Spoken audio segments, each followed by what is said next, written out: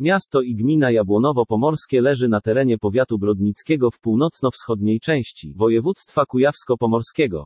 Obszar całej gminy wraz z miastem Jabłonowo-Pomorskie wynosi blisko 135 km2, zaś populacja liczy 9514 mieszkańców.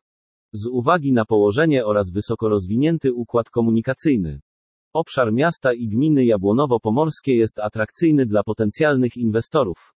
Atutem miasta i gminy Jabłonowo-Pomorskie jest również duża ilość użytków rolnych oraz ogromny, niewykorzystany potencjał inwestycyjny.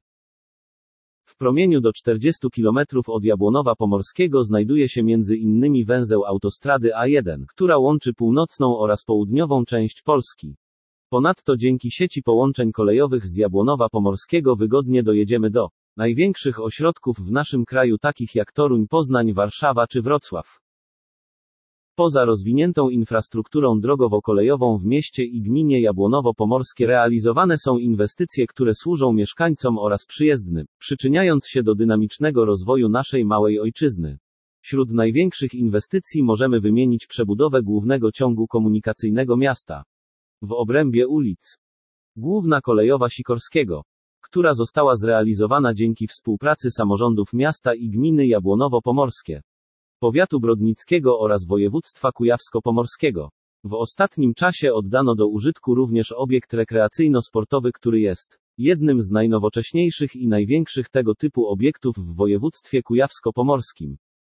Dzięki tej inwestycji użytkownicy wspomnianego placu nieodpłatnie mogą korzystać z kolorowego i bezpiecznego sprzętu, aktywnie spędzając czas wolny. Na terenie miasta i gminy Jabłonowo-Pomorskie trwa Budowa punktu selektywnej zbiórki odpadów komunalnych.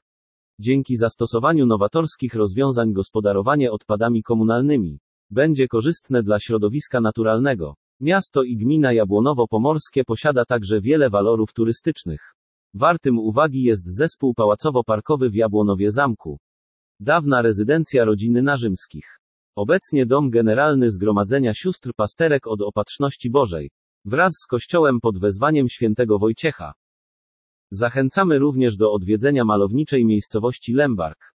Wraz z kościołem parafialnym pod wezwaniem świętych apostołów Piotra i Pawła. Z pierwszej połowy XIV wieku. W sezonie letnim turyści mogą nieodpłatnie korzystać z plaży w miejscowości Nowa Wieś. Do dyspozycji turystów w obrębie obiektu są Kąpielisko, boisko do siatkówki plażowej, scena plenerowa, wiaty z ławkami oraz zaplecze sanitarne. Dla miłośników sportu mamy do dyspozycji stadion miejski z boiskiem do piłki nożnej oraz bieżnią lekkoatletyczną. Przez ostatnie lata staramy się zmieniać na lepsze miasto i gminę Jabłonowo-Pomorskie i poprawiać jakość życia jej mieszkańców.